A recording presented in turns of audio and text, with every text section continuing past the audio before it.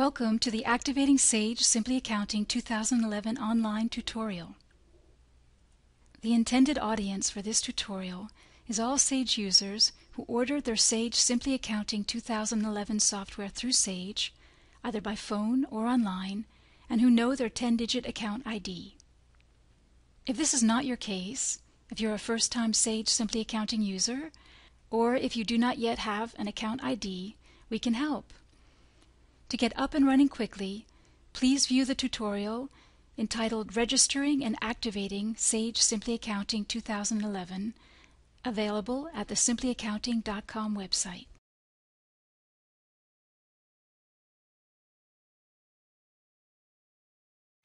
To begin, you'll need to locate your Simply Accounting 2011 icon on your desktop. When you double-click on the icon, the registration window opens prompting you to activate your product. Since your software is already registered, you can skip step number one and go straight to the Activate Now button.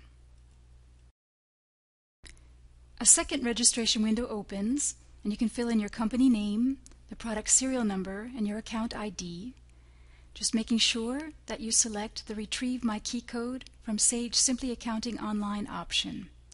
Just click the OK button to see that you have successfully activated your Simply Accounting 2011 product. Thank you for choosing Sage.